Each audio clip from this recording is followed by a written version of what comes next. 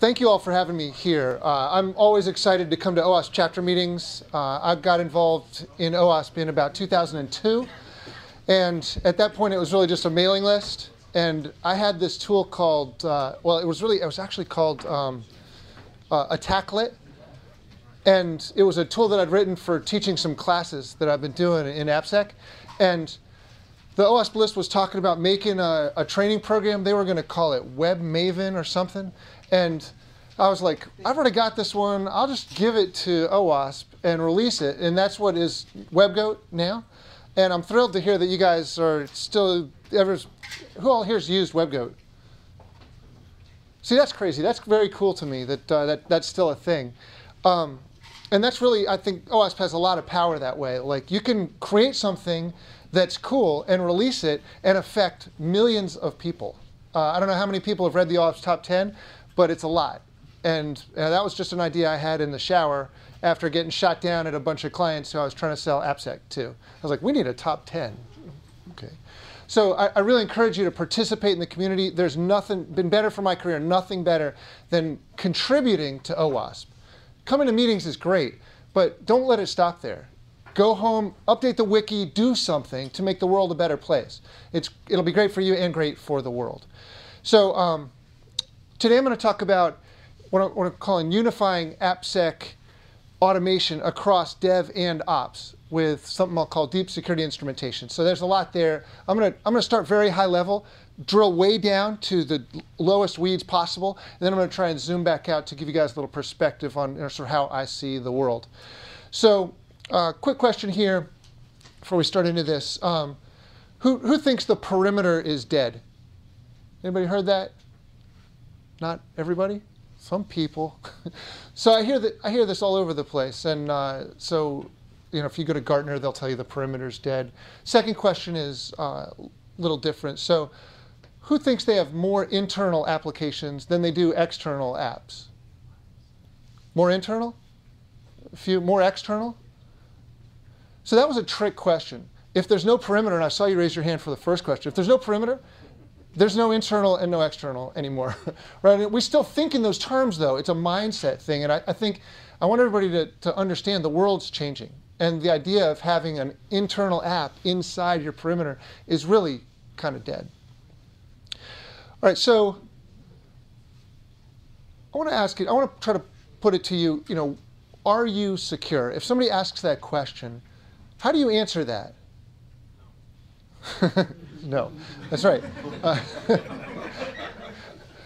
okay, let's say you wanted to go to like the next level of detail, right? Like how would how would you you know argue that you were secure or weren't secure?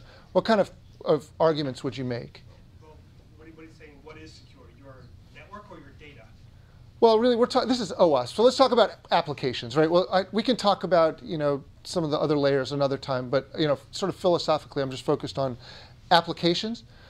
But I want to I want to try to get under that question because I think it's actually you know for all the experts in the in the room, I bet you'd get 200 different answers if you went and asked that.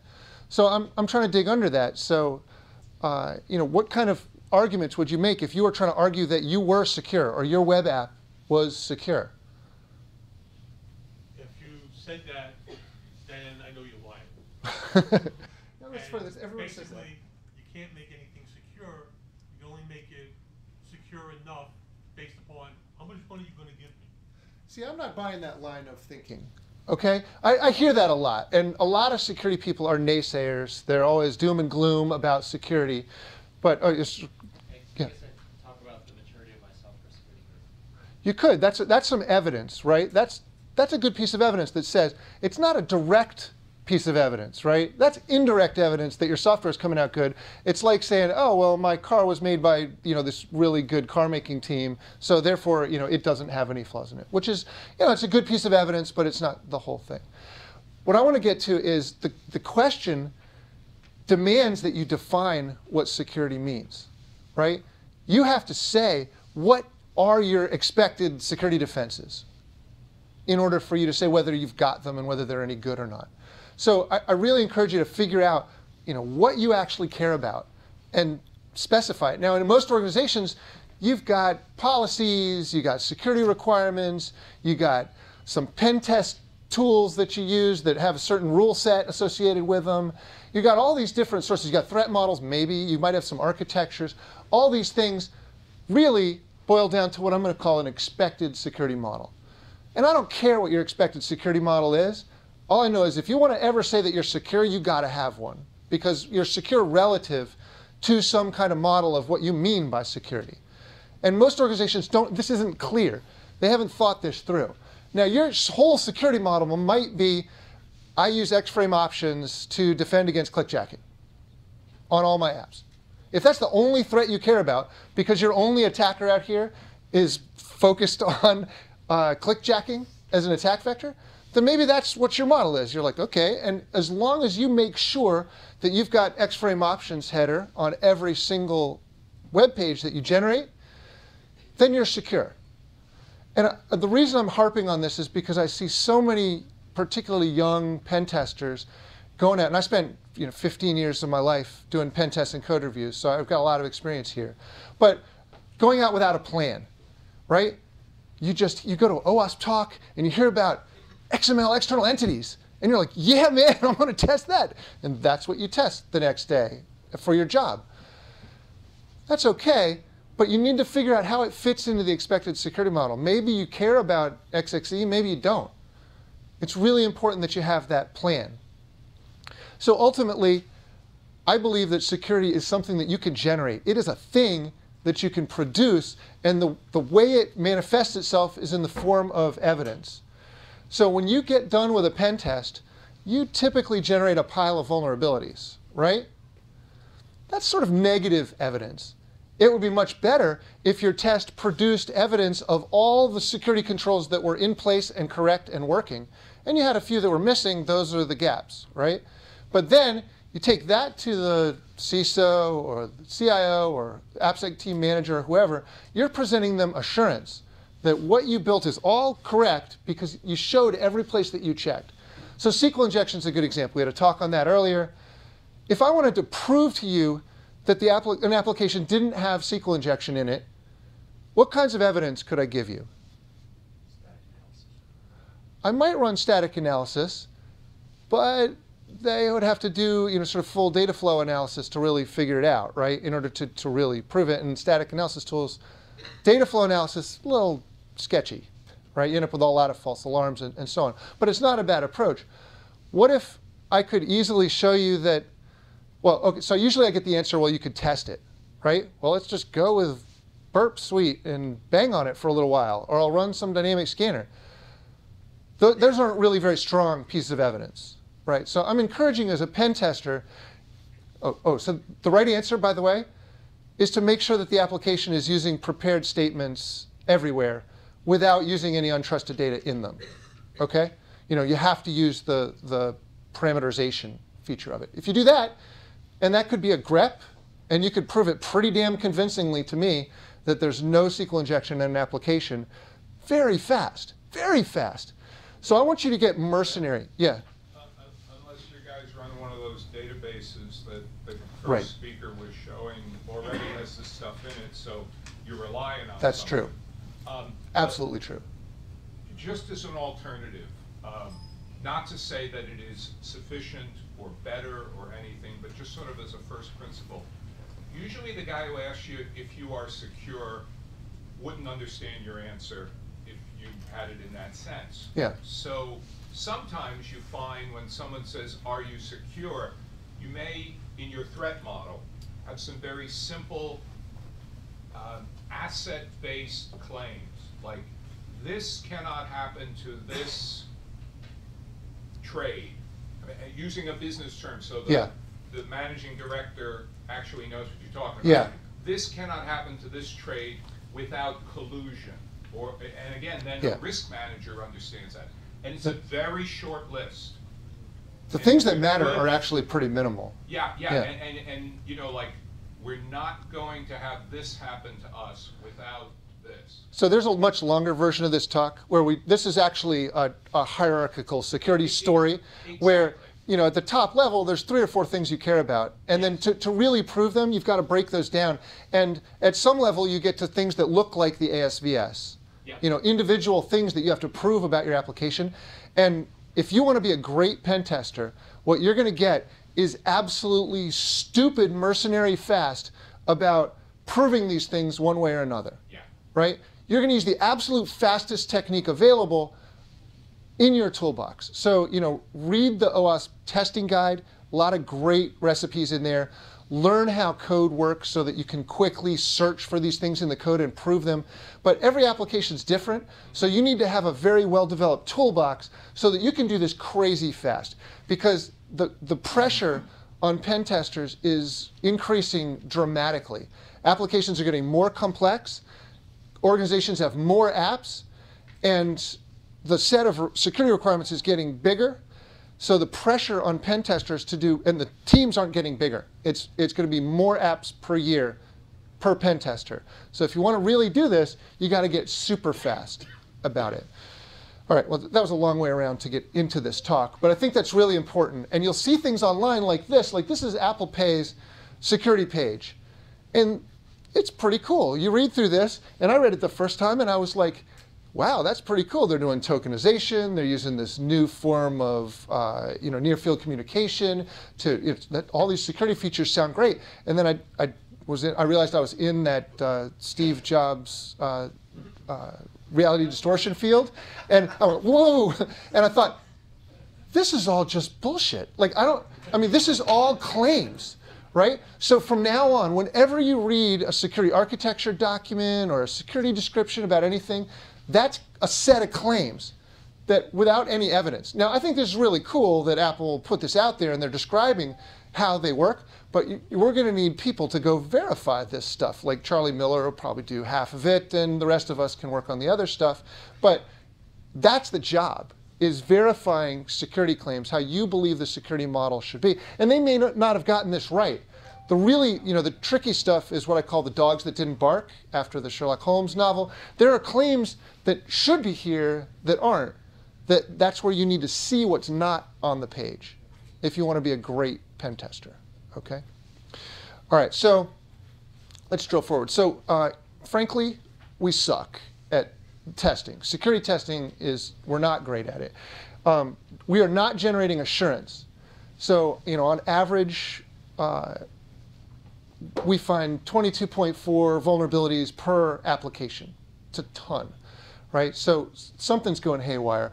We're not really getting very good coverage. When I go to organizations, I see coverage over their application portfolio is frequently like 10% of them are getting security tested.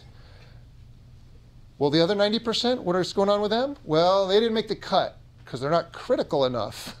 But that's a serious problem. All those apps are, you know, they're one click away from the Wall Street Journal. And vulnerability coverage is also pretty terrible here. If you're running a tool like, you know, I saw Tom Ryan's program was built around running SAST and DAST, if that's all you're doing, then you're criminally negligent because most of the, the critical vulnerabilities are in authentication, access control, and encryption. The other one I'd put in the top list there is injection, and tools are okay at injection, but those other three, you'll never find those flaws with tools. Okay? So we got, you've got to do more than, than just the tools. So our coverage is pretty terrible. And in terms of process fit, and this is really important, is the way that we practice AppSec, it's pissing everybody off. I go into so many companies and I say, you know, hey, how are the developers and the security people, you know, are they, are they happy with each other?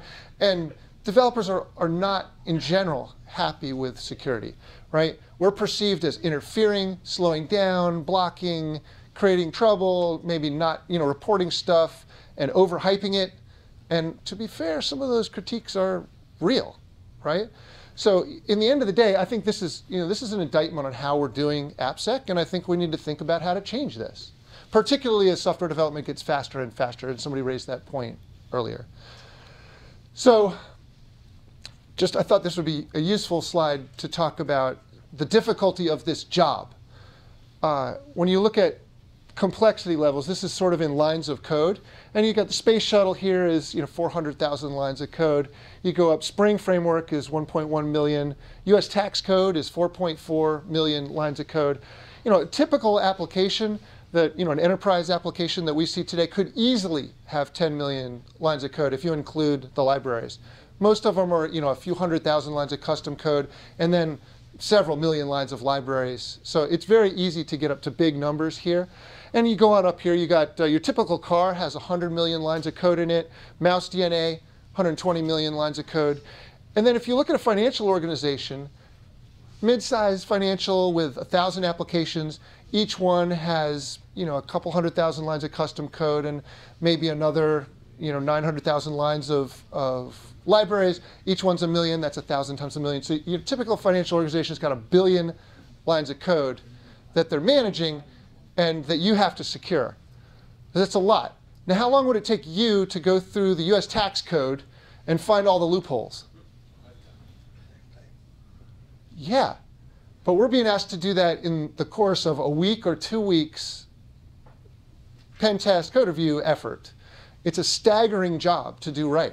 So I, I think you know this is important for people to understand it's just how hard this job is um, at scale. So when I look at the way AppSec programs are set up, this is sort of your traditional AppSec program. You got bunches of application projects all executing concurrently. By the way, if you ever see those SDL pictures where they show you one project at a time, they look so pretty, don't they? They're like, oh yeah, look, we'll do we'll do uh, you know inception here, and then we'll do a arch- security architecture. That'll be a gate, and then we'll go on down and we'll do security requirements, and then we'll go a little farther. We'll do you know testing, or maybe we'll do code review, or like pen, uh, sorry, static analysis. Then a little later we'll do a full pen test, and then so on. That's great in theory, but when you try to scale it, what you realize is that there's this huge bottleneck. All of our processes are built around experts running expert tools, like I, I, I compare them to you know uh, uh, tunneling electron microscopes and mass spectrometers, right? You need an expert to run the tool, and there's a small number of experts. You know, this in a in a large organization, this could be a team of 20 people, right? So you, you can't run all these through all at the same time, particularly if you're an agile shop and this is you're getting a new release every two weeks, right? You just can't. It doesn't scale at all. So I looked. I realized this uh, a couple of years ago, and. Uh, I spent my career being an AppSec expert, right? Like I was, I was in this box, and I was like, "Holy crap! I'm the problem. Like I'm preventing AppSec from actually working because I can't scale to do this work." So you know, this is really to say that automation is critically important, and that if you're really doing application security, you will focus on automating AppSec instead of trying to do it by hand over and over again. So I want you to think about every time you do a pen test, instead of delivering a finding or a vulnerability, I want you to deliver a script or a tool or a procedure that will repeatably find that forever so that you never have to do it again. There are, don't worry about putting yourself out of a job because there are actually a lot of really hard problems, really useful problems that need your skills. We don't need you to find yet another XSS. Can I add something to that? Yeah. Um, Agile shops especially, they're putting out code constantly. Yeah. You do a pen test today, and you don't give them any tools to check. A week later, they open up 100 vulnerabilities and get hacked, and then they come after you. So actually giving them tools to be able to check again after you're gone, every time they release, absolves you of all these of being sued because a week a week a week later they get hacked. You actually sue people in your own company? Talking- That's good culture, and security culture is really important. So actually, I want to I want you to think about. Yeah, go ahead. Okay, so you're giving the code, you're giving them code, okay, from a legal standpoint, doesn't that make you liable, especially if the code doesn't change? This is all. I mean, I'm, this is really all internal. It's it's. It, you know, you have to think. I mean, if you're thinking about it from a consulting point of view, Yeah, that's what I was Right, thinking Yeah. about it so I'm taking it from a consulting point of view, if you, you, well, we can talk after, but there's a difference between you know like criminal liability and contractual liability, and your contract should cover it. If you're delivering code to verify something, uh, well, we'll talk about it later. That's kind of. I, what, what, I, what has to happen in companies, though, is you have to switch over from having this huge stack of things to verify manually every single time you release code. You have to switch those over and start automating them. So you, slowly, over time, you're left with a couple things that you have to validate manually because they're really hard, and a whole bunch of stuff that happens automatically. This is the genius of DevOps. Is DevOps is doing this for software development. They're turning quality assurance into tools and automating everything so that when they hit, you know, a, submit a code change, it can go through a pipeline that runs all the, the tools, the CI server runs, runs all the tests, runs all the QA, runs whatever, performance test, and pushes it into production with quality, right? That's what we need to do for security. And the cool thing is that the DevOps guys are paving the way for us. They are building the infrastructure for us to do this already. And you're starting to see people run static analysis in their CI server, which is fine. Uh, it's a better place to run it. But we can do even better than that. So let me keep going. So in order to automate, we need better accuracy. Who's, who's wrestled with false alarms in their tools? Yeah, it, takes forever, right? Your tools generate tons of false alarms. It's a pain. The key to getting accurate findings is context. And by context, I mean really what's going on inside the code. And so when I did pen tests and code reviews, we always did them together. So uh, you know, we'd look at the code a little bit, figure out how it works, and say, oh, I bet if we test it this way, it'll work. And we'd test it, and it wouldn't work. And we look at the code again, and we get a little more context, and we figure out how to test it, and we go back and forth. This is the way that you get accurate security findings fast, is by using all the information that's available. And so that, to me, that, that was a, a wake-up moment when I started thinking about how to do this better. So when you see a vulnerability, it's really not at one particular line of code. Just, a lot of you probably know this, but a vulnerability is not like there it's you have a vulnerable path through the application, right? So this HTTP request comes in and the controller pulls out some HTTP parameter, a header, a cookie or something. Maybe it sticks it in a bean and passes it off to a business function that takes that data out and does some transaction. Maybe it calls a data layer to, you know, and eventually it gets into a SQL query that goes to the database, right?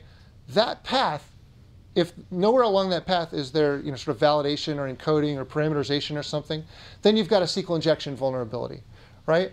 But it's the whole path that's vulnerable. It's not one particular spot. And it's the same thing on the way out. The data could flow you know, into libraries and back out and back and forth and, and so on. And maybe you got an XSS on the way back out. But in order to identify that vulnerability accurately, you've got to have the context of how all this is working inside. So uh, in 2009, I did a talk at Black Hat. I called it Enterprise Java Rootkits. And I was studying the problem of what would a malicious Java developer do inside a major financial organization. And I thought, you know, this could really happen. I had some clients that were wrestling with similar problems. And I was like, well, let's, let's examine it. Let's see how bad it could be and, you know, what could they really do? And maybe we can learn from those techniques uh, well, long story short, it turns out that it's really dangerous, right? Like in a couple lines of code, you can do some terrible, terrible things and make it look almost invisible. So, you know, if you're interested in that problem, go check out the paper because I list about, I don't know, 50 different ways of, of really subverting an enterprise. But along the way, I discovered this thing called the Java Instrumentation API. Anybody played around with it? A couple people, oh yeah. And uh, so this is super powerful. It allows you to modify running applications.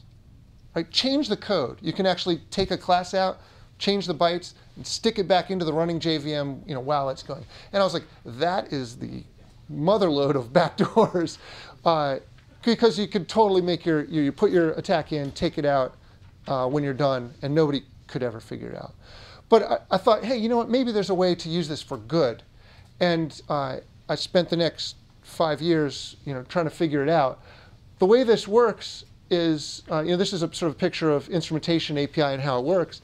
Essentially, you can hook the class loader so that as the original bytecode loads off disks from jar files or class files or whatever, you can hook them, change them how you want, and replace them into the running application. So I was like, wait a minute, maybe I could use that as a way to gather the context that I need in order to identify vulnerabilities, right? If I could just see all the security critical transactions along this path, I could actually see SQL injection as it happens in a running application.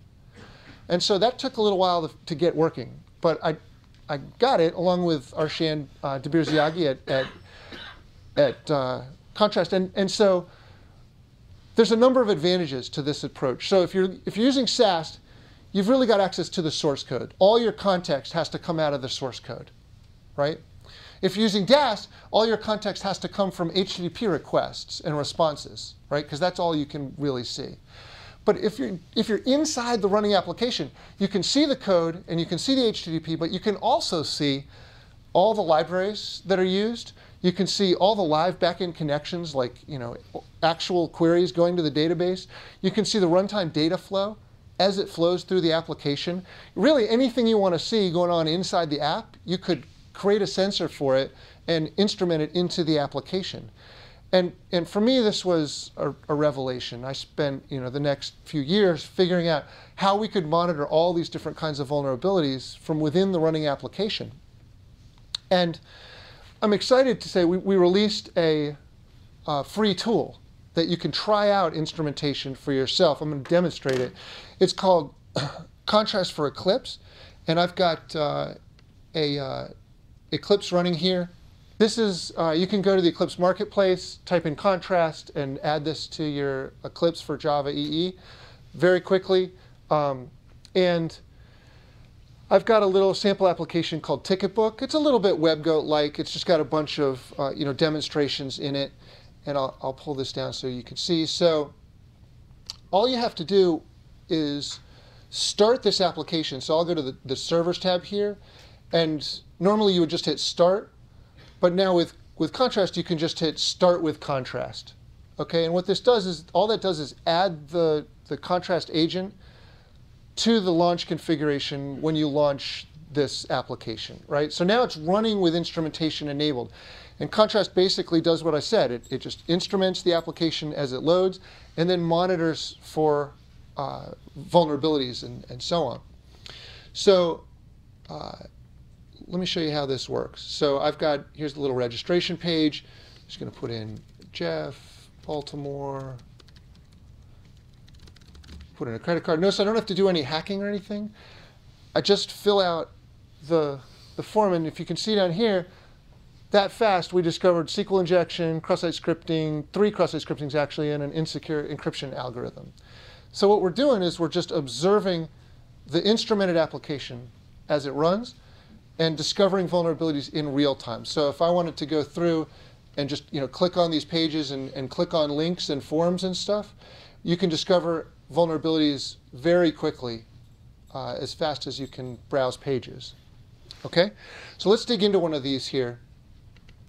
You can double click on the vulnerability and it take you right to the line of code and it'll show you what we call sort of the evidence for this vulnerability. So if you browse through this, you can see here's the exact line of code where that parameter was read from the HTTP request. So this read the ticket parameter, and there's the actual value that was passed in.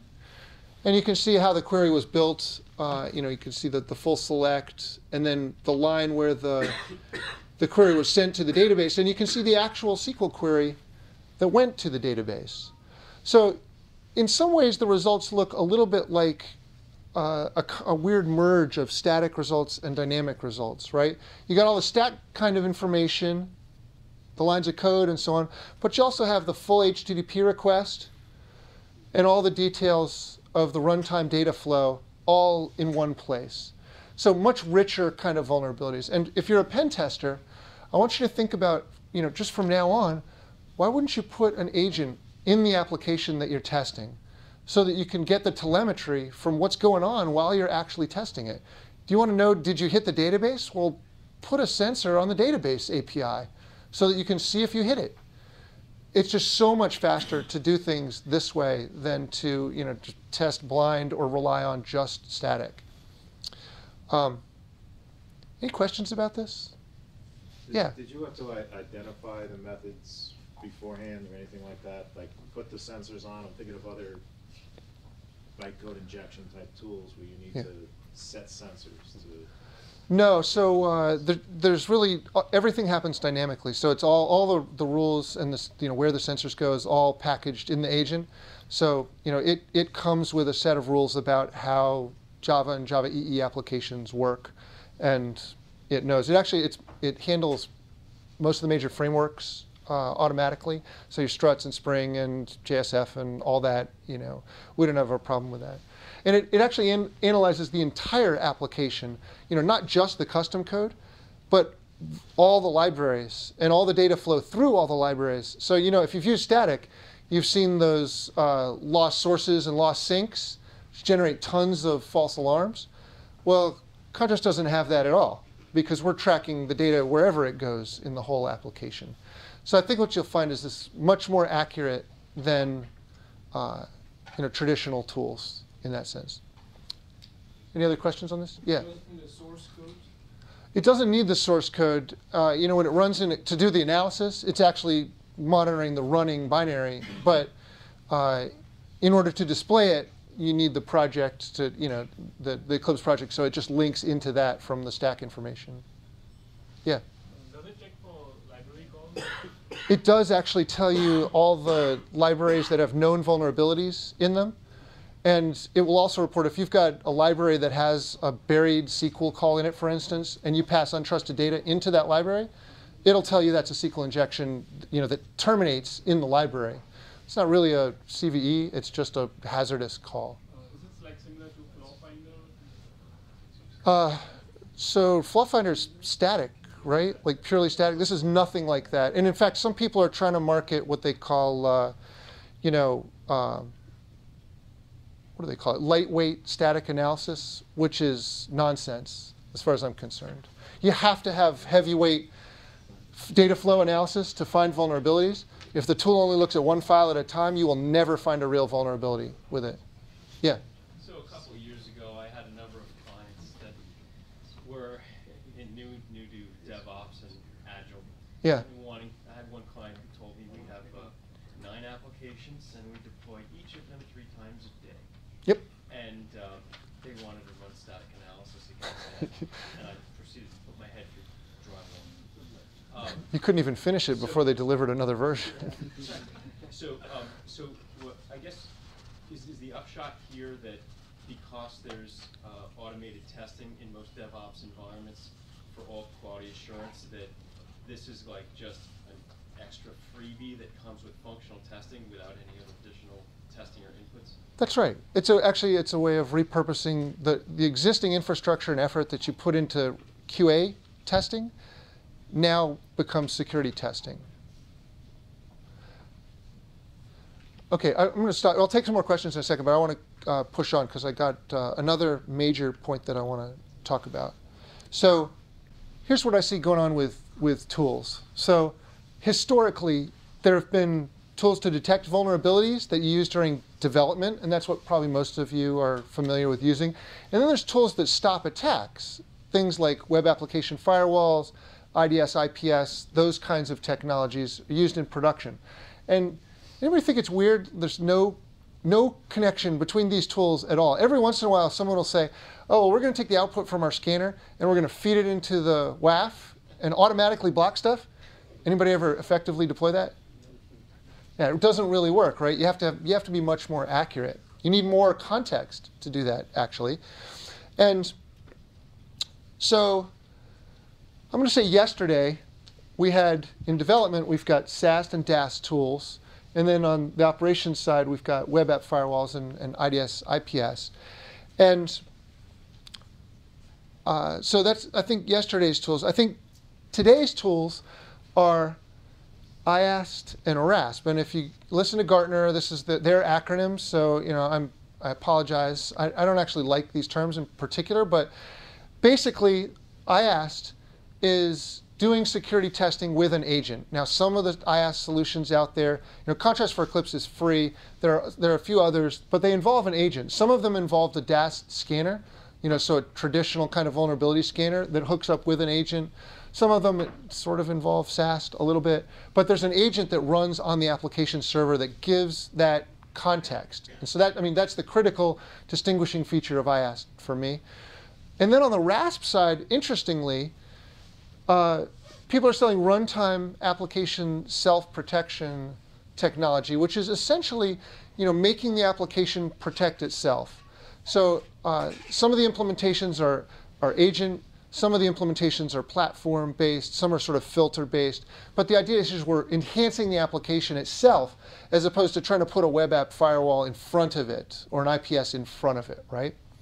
So interesting, I think, uh, that these are kind of headed the same direction, right? Like this brings testing inside the app, and this brings protection inside the app. And so I believe that the next generation of this is to try to put a development and operational technology in one agent that you can add to your application. And now, when you start out in development, you'll get feedback instantly on vulnerabilities. And as it progresses, you'll, you'll have constant monitoring of, of vulnerabilities. But when you shift into production, that same agent will now detect attacks and block attacks if you enable it. And you can do that all from an agent using instrumentation. And the cool thing is, it solves the context problem. Because the agent, by, being, by virtue of being inside the running application, it can do the things that your developers should have done themselves, but didn't for whatever reason. Right? So if you break this down, you know, essentially you take all those technologies and squinch them together into an agent that you can apply to an application using instrumentation. And if this happens, I think it'll be really powerful. This will mean that now your application is itself protected. So if you move it, you're not going to have to move all that web app firewall infrastructure and all the, you know, the load balancing and all that stuff. The protection is in the app. So you want to move your app to the cloud? Great.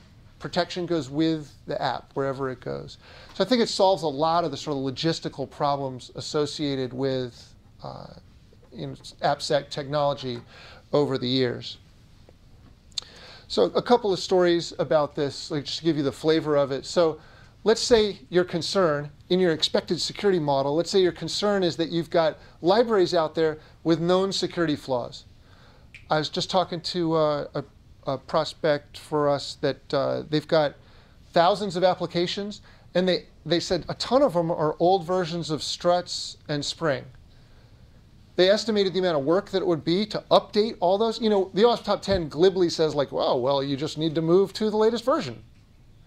Well, they estimated the amount of work, $10 million for them to move those applications to the latest version of the framework. Uh, Joy, you know what I'm talking about.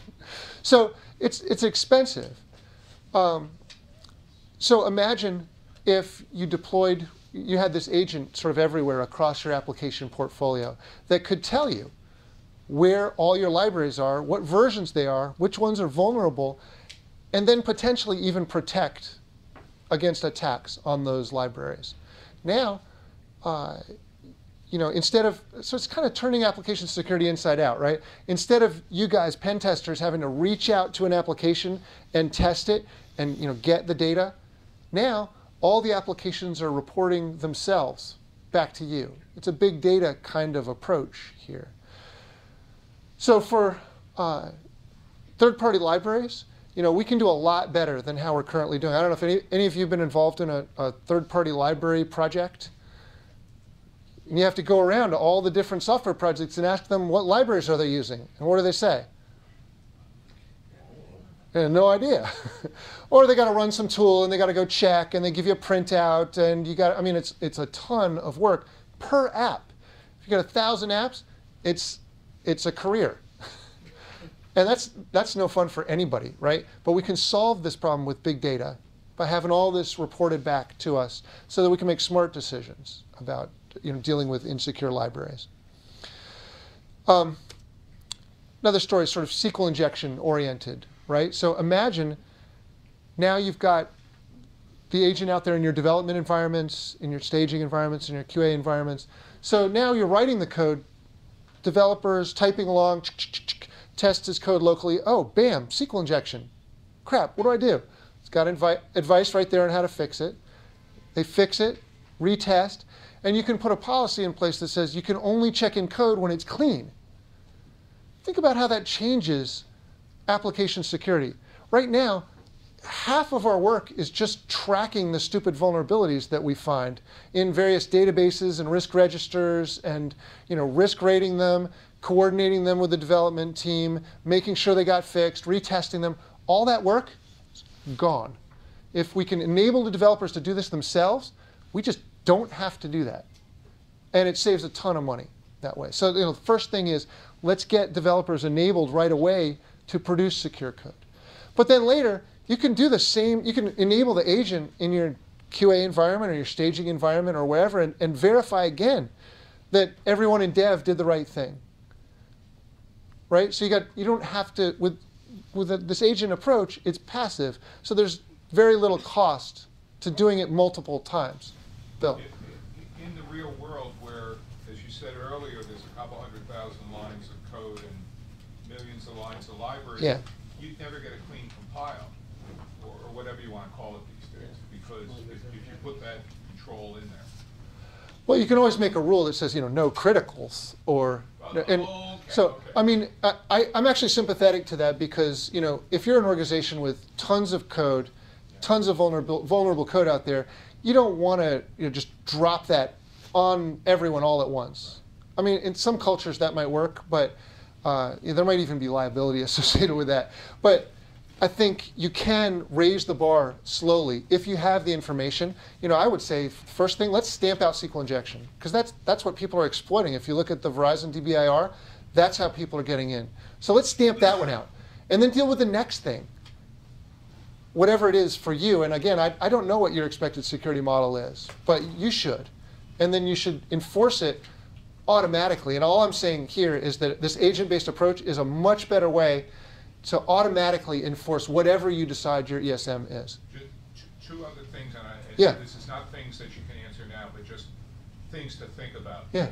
One is, um, have you thought through the threat model of people attacking the sensors? You know, you have your normal situation Yes. of, I got these things, now I got these sensors, they attack the sensors, I shut down because I think I'm being attacked, Yeah. and I'm not, et cetera. Sure. Um, And the other situation is, as you talked about fusing those two things, have you thought through a threat model where you may have insufficient separation of duties? Uh, That is to say, I want to do these things in development, I want to Yeah. do these things in production, it's the same thing, oops, there's a, an attack on the development side that wasn't important, that if the agent's running in production could be important. And lastly, and I'm running into this all the time, because remember, I, I, I'm like a private bank. Yeah. So I get people at the big firms saying, well, can you give us the evidence of a particular Yeah. thing, say a data governance, data quality issue? And Yeah. the answer is no. That data can't cross that border. Sorry, Charlie. And you just talked about, the- you know, I'll, I'll run it. Yeah. And I'll tell you, no trouble found. But, uh, in your big data scenario, it's also the flow of that information. If you say Yeah. the application is now instrumented, is that a back channel? Is that a spy? Yeah. So. I- Just I- three things to think. No, it's interesting, and I think the short answer to all of them is that it really is how you use it, because you know you can use instrumentation for a lot of different things. But uh, I'll, I'll follow up with you on that. Um, so, so then SQL injection, I think, uh, you know, imagining that you stamped out most of it in dev, you verified that none snuck through in QA, and then you go into production and you've got defenses so that you can detect people trying to attack you with SQL injection. You've got a real a package of, of controls here that's that's effective. So um, I'll stop there, and if there's any questions or, or thoughts, I'd love to answer them. Well, Yeah. what's the performance hit you get in, in prod? Oh yeah, so the um, so detecting vulnerabilities is more of a performance hit than blocking attacks, and so uh, you know I think you'd run the full data flow engine in Dev, and the the performance hit there there is one. It you won't notice it in a test environment uh, or a QA environment. In prod, you want to be super efficient. So you know the the the prod agent, your use of instrumentation in prod is much different than in dev. Yeah, good question. Thank you. Yeah. The security agent you demonstrated, is that just for Java, Java um, based frameworks? Or can be implemented in other stacks like Django or uh, Express.js on Node.js? It uh, the technique can be used in any environment. We've implemented it in uh, in .NET and Node.js, and we're going to do PHP uh, and on the commercial side. This is a free thing that we released because we think it's important and we want people to learn about instrumentation. But yeah, the technique is kind of general. It can be used in any environment. The, you know, the specifics of it are, are different in each language. Any more questions? So for the automatic feedback, real-time feedback, near-time feedback to the developers. Yeah. What solutions do you like there, um, generic? Um, I mean, I like Contrast for Eclipse. Like, I'm not sure I understand the question. So are you saying Contrast for Eclipse gives them that real-time solution? Yeah. It- So it finds the error real-time. Yep. Does it give the recommendation? It, it does. And I'll give you a little story real quick. My son's 15 years old. He, uh, he wrote a web app for his school. His school has a writing center. And he wanted to build a web app for them that would allow students to upload papers, get emailed to advisors, get feedback, and send it back to the students. So, you know, it's just a simple web app. And he came to me and said, uh, hey, I think you should look at this. And I'm like, uh, I want to see if you can do Contrast, right? So I just pointed him at the thing. He went, and half an hour later, he came back and he said, Dad, I had four cross-site scripting and two SQL injection. And I was like, well, you know, that's that's going to happen. It's, uh, and he's like, but I fixed them. And I was like, wow, that's really awesome that a novice programmer could use it to go actually fix vulnerabilities without any help in a web application that they wrote. Uh, you know, I think that's different. I, I can't imagine anyone doing that with static or dynamic.